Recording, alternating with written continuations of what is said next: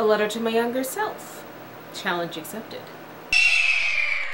Dear 14-year-old Chengu, if I can impart one thing to you and one thing only, I would like to tell you to not sweat the small stuff. That is honestly the best advice I could possibly give you. Do not sweat the small stuff. My life now, which is a lot easier life than it ever was when I was 14, when I was you, and that is mostly due to the fact that I do not sweat the small stuff. That is a rule for me. It is an absolute rule for me. And of course, the ever important saying, there's nothing now, nor has there ever been, nor will there ever be anything that is really that serious. Not that you shouldn't be serious about things. You should absolutely be serious about things that really matter to you. But it's like those cliches that everybody's always saying. Don't sweat the small stuff, don't cry over spilled milk, pick your battles. The things that are important are worth fighting for. The things that are important are worth getting stressed out over. The things that are important are worth putting your all into and getting so stressed out at night that you can't sleep. But the randomness of people, the choices that other people make, and the bad ways that other people may treat you in the future have nothing to do with you. So don't sweat it. You'll have a lot of amazing opportunities coming in the future and if you don't stress out over the small stuff, you'll actually be able to enjoy them.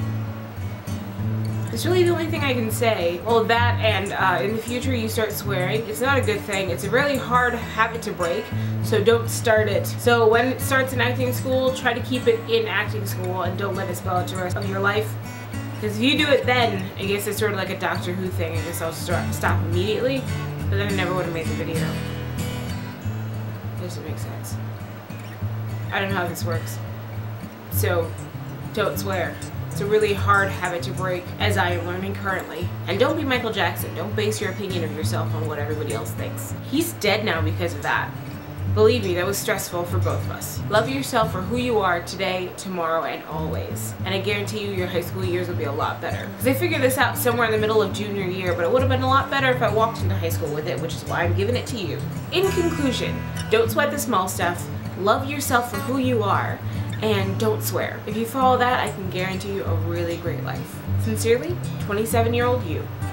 Thank you so much for watching my letter to me. If you would also like to take this challenge and write a letter to younger you, it doesn't have to be 14 year old you entering high school. It can literally be like whenever. It can be you from yesterday. Just whatever time you pick that you would like to speak to a younger version of yourself. Make a video, make it a video response to one of the videos from this week and we'll post it up on Saturday. Please remember to like, favorite, and subscribe and I cannot wait to see what Gretchen's letter is tomorrow. I absolutely love you guys. You guys rock out loud and I will see you next Wednesday.